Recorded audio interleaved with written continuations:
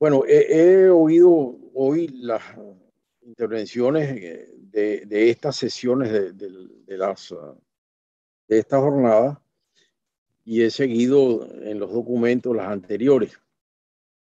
Y venimos de oír la, la exposición de, Juan de, de José Ignacio Hernández, que realmente nos deja estupefactos, porque vemos en cifras el nivel de irresponsabilidad, porque eso es lo que está allí, el nivel de irresponsabilidad de un gobierno, el nivel de irresponsabilidad de una empresa, de un presidente de esa empresa que a la vez era ministro de Minas, el nivel de irresponsabilidad que ha llevado a este endeudamiento eh, de estas cifras que se me,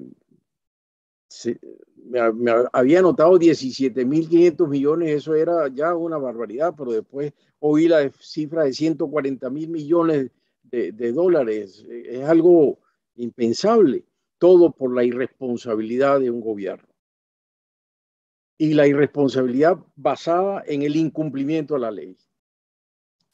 Porque el régimen constitucional y administrativo y, legal de la propiedad en Venezuela, yo diría que, que no necesita que se le cambie ni una coma. Es un régimen que tiene todo. Con razón decía la profesora Samantha Sánchez, este no es un tema de reforma, de ley. Este es un tema de responsabilidad de gobierno, este es un tema de responsabilidad en la conducción del gobierno, porque todo lo que necesitamos para eh, la garantía de la propiedad está en la Constitución y em, parcialmente en las leyes, pero básicamente en la Constitución. Recoge la Constitución, como ya hemos visto a todo lo largo de esta jornada, es la garantía de la propiedad. Garantía que viene desde 1811 establecida en los textos constitucionales y establecida en la propiedad con base fundamentalmente en tres garantías que son constitucionales. La garantía de la reserva legal, es decir, que toda contribución, restricción u obligación a la propiedad tiene que estar establecida en ley formal.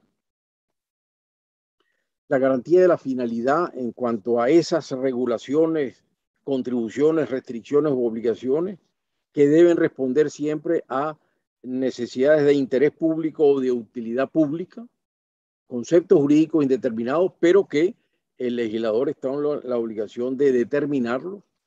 Recordemos que la Constitución eliminó la referencia a la función social de la propiedad que traía la Constitución del 61. Eso ya no está en la Constitución, pero quedan estos conceptos jurídicos indeterminados que eh, deben con, conducir el encaje de la propiedad, al punto de que en un caso la Constitución dice que el latifundio es contrario al interés, em, contrario al interés social, y por eso lo prohíbe. De manera que eh, lo que tenemos es, por tanto, una garantía de finalidad con base en esos dos conceptos. Y luego la garantía de la integridad, que es básicamente la que en definitiva hemos venido analizando en esta jornada la garantía de la integridad en el sentido de que la desaparición de la propiedad, la extinción de la propiedad, solo puede ser realizada con base en tres casos que están en la Constitución y otros como contribuciones que están en la ley. En cuanto a los que están en la Constitución, hay tres supuestos claramente establecidos. La publicación, la potestad expropiatoria y la potestad confiscatoria. Esas son las únicas formas de extinción de la propiedad en la Constitución.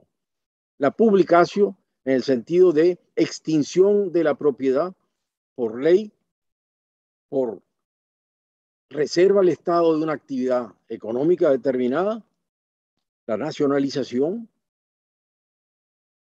pero que se implica apropiación de propiedad privada, el hecho de la reserva hay que compensarla, así está en la Constitución, y por la otra la Declaratoria General de Bienes como del dominio público, en cuyo cambio el cambio de estatus de bienes y la configuración de esos bienes como el dominio público pasan esto a propiedad del Estado, pero de nuevo, si en ese cambio hay bienes de propiedad privada que están en proceso de explotación, por ejemplo, en materia de aguas, si había una represa privada y esa pasa al Estado, el Estado está obligado a compensarlo. En todo caso, esa es la primera forma de extinción de la propiedad, la publicación en reserva y en bienes del dominio público. La segunda forma es la potestad expropiatoria, es decir, el ejercicio de esta potestad expropiatoria con base en lo establecido en la Constitución y con las limitaciones de las garantías de que debe ser una declaración judicial, no hay expropiaciones administrativas en Venezuela, de manera que esas expropiaciones indirectas que, que han mencionado, eso es totalmente inconstitucional. La expropiación solo procede por decisión judicial. Pago oportuno de justa compensación. Tres elementos de la garantía de la integridad en materia expropiatoria.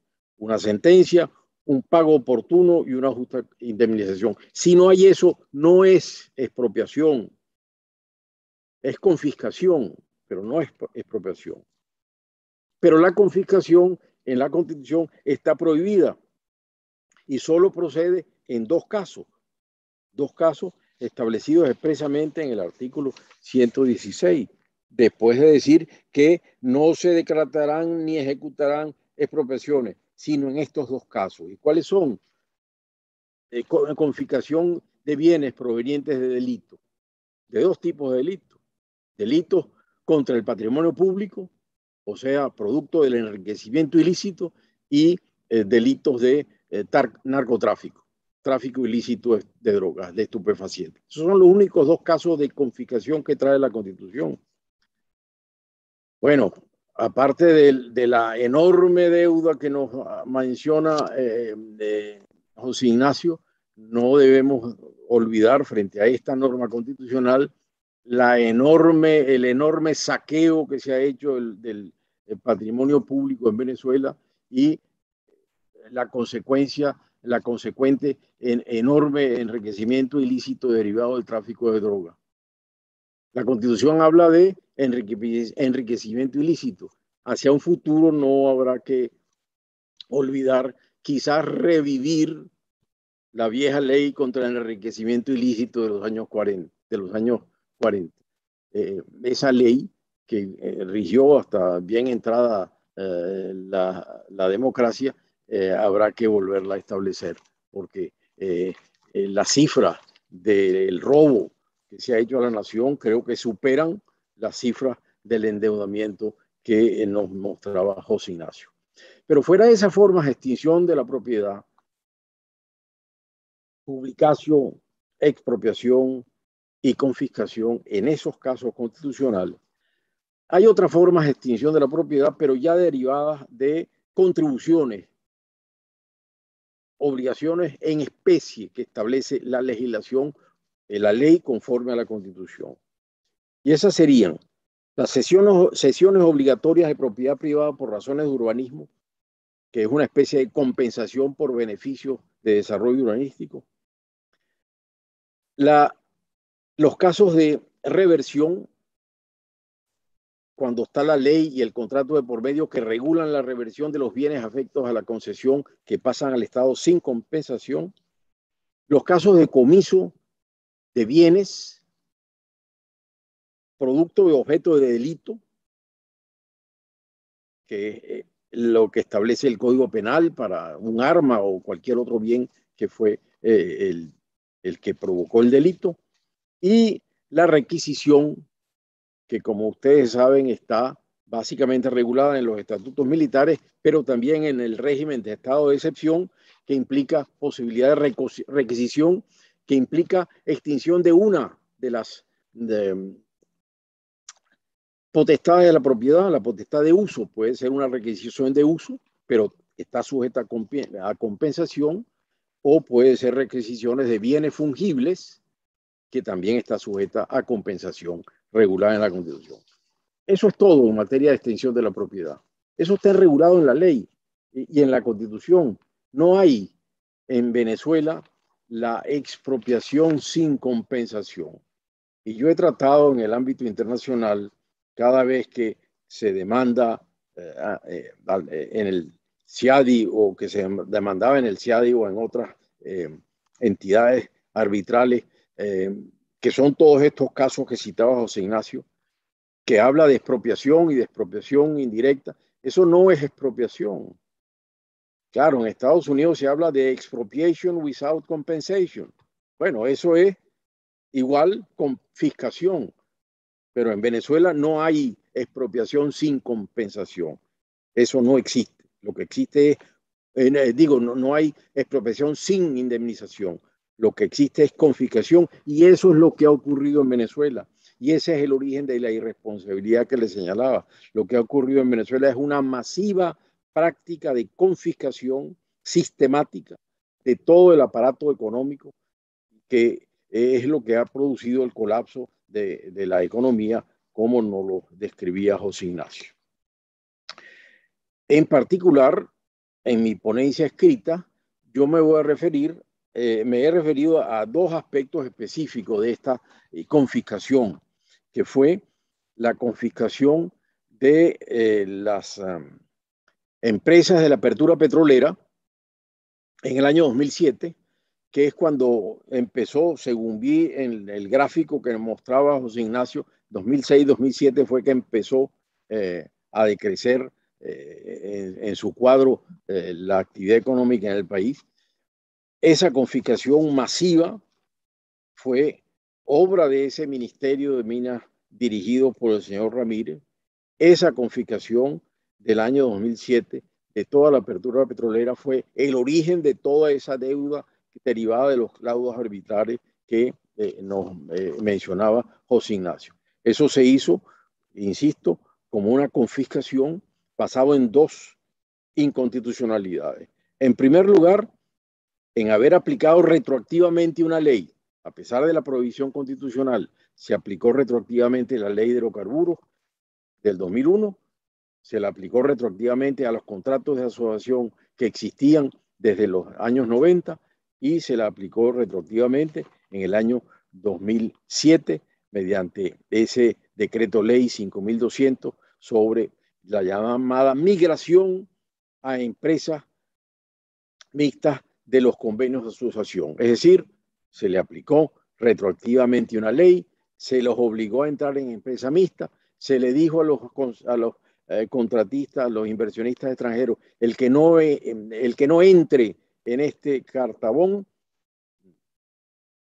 queda fuera, no se habla nunca de compensación, simplemente se le ignora, sus bienes pasan a propiedad del ejecutivo, de, la empresa petrolera que designe eh, PDVSA y se acabó ante esa barbaridad, porque era una expropiación declarada, vino una ley del Congreso posterior del año 2007, que fue la ley de efectos del proceso de migración.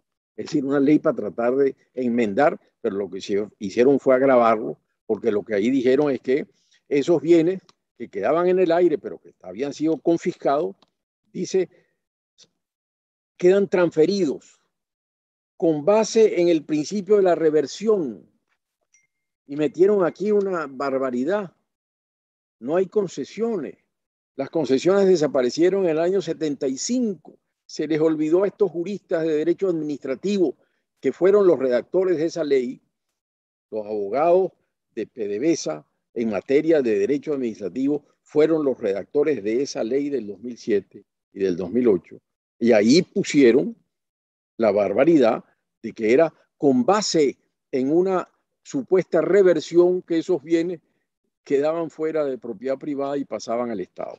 Es decir, se violó todo y todos los principios de derecho administrativo en ese proceso brutal de confiscación que originó, entre otras cosas, el nivel del, endeudamiento que existe hoy en el país derivado de todos esos laudos arbitrales que en lo que en definitiva lo que han sido es laudos donde se ha condenado el Estado por expropiación sin confiscación, sin indemnización, es decir, por confiscar bienes de propiedad privada, ignorando todos los principios constitucionales.